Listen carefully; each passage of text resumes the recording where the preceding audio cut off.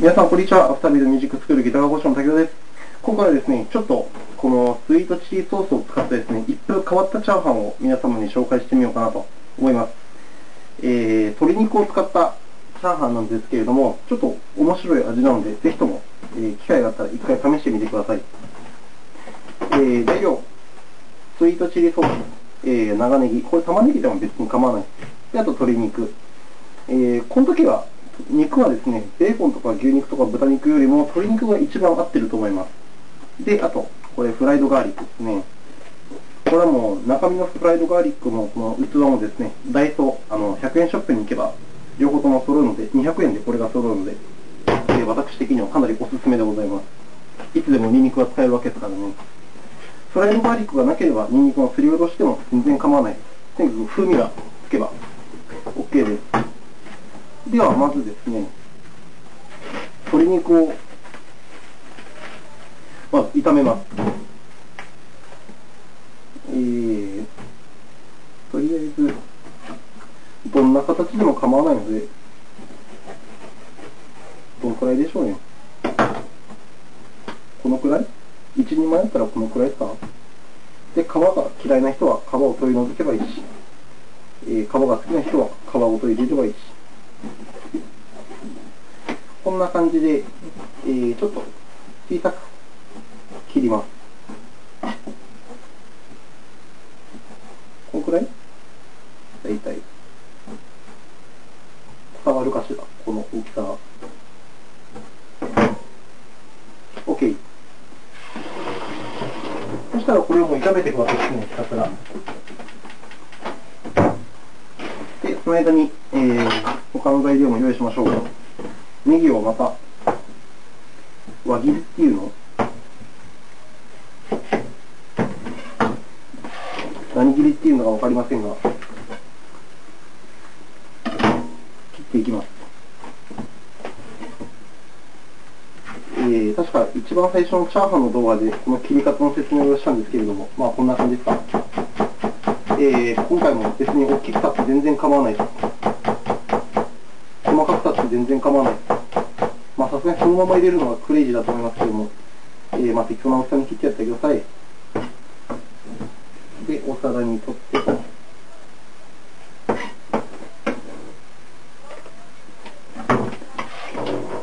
で、お鍋が温まってきたら、油を入れ、ちょっと入れすぎたな。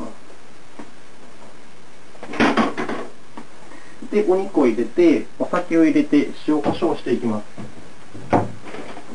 お肉。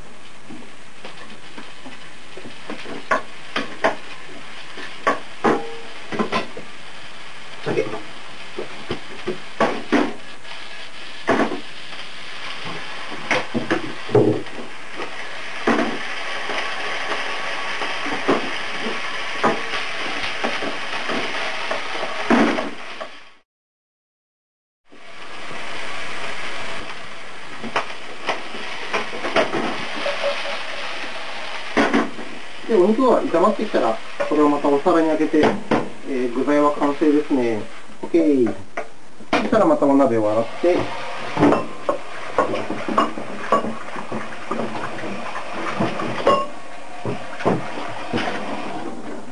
温めます。で、ここから基本のチャーハンの要領で、えー、ご飯を炒めていきます。卵を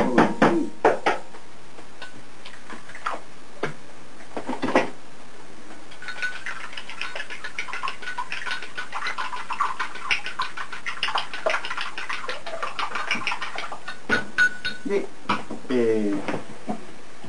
温め、温めたご飯を用意し、ちょっと、電子ジャーの中にちょっとしたご飯が入ってなかったので、今回少なめなんですけれども、まあ、大きな量を使ってください。女性の方はこのくらいでちょうどいいかもしれないですね。意外とこう、炒めてると、ね、これは固まったご飯だからね、すごい少なそうに見えるけれども、炒めてると意外と量多くなったりするんで、まあ、その辺は何回も作ってみて、コツというか、感覚をつかんでください。あったまれで、えー、一番最初のチャーハンの動画でやったように、えー、卵とご飯混ぜてから炒めても別に構わないし、えー、お好きなようにやってください。とにかく、いつものチャーハンっぽくやってください。私は、別でいきます。卵入れたらすぐご飯。ご飯。で、あとはは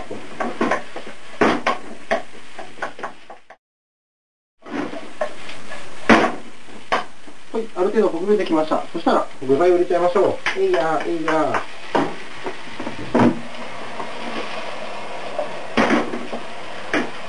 ー。で、炒めてる間に、えー、洗い物をしてしまうと、えー、できるだけ時間をかけたくないので、私はいつもいろんなものを同時進行でやってしまいます。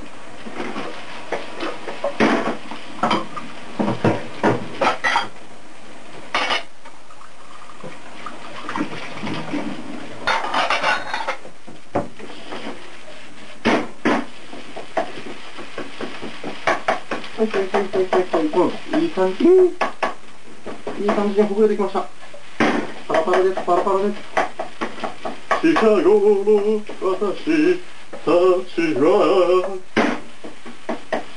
いい感じです。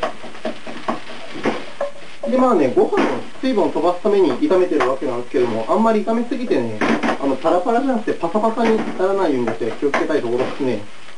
えー、ちょっと自分調子乗っていつもパサパサめに仕上げてしまいますが、ちょっと反省するところです。で、そしたらですね、フライドガーリックを使います。これを、こう、細かくして、おわわわわわわ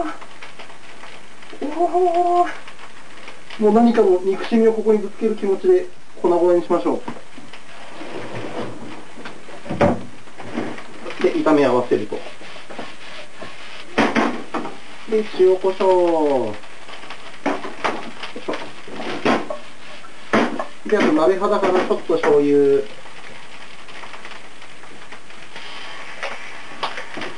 で、焦がして、いい香りいい香りで、混ぜ合わせて、で、最後にこのメインのチリソースを入れます。結構この量が難しいところですね。なんかある程度入れてみて、こんくらい？で、ちょっと混ぜ合わせるんですよ。で、このチリソースが少ないと、なんか知らないけど、美味しくならない。結構気持ち。こうが、ご飯パッと見たときに、なんかご飯全体がツヤツヤしてんなっていうぐらいですね。この辺はちょっと味見しながら調整をしてほしいんですが、えー、多分、思ったよりも多めに入れると思います。で、このだんだんね、あの、スイートチリソースがベトつくんで、パラパラにし、パラパラっていうか、お鍋が入りづらくなるんですけども、これをなんとか気合でほぐし、で、完成って感じですね。えー、ということで、ちょっといただきます。うんうん。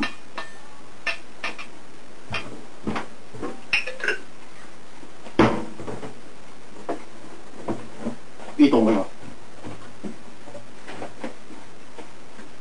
えー、とある中華料理屋さんで、という商品名で出ている品物でございます。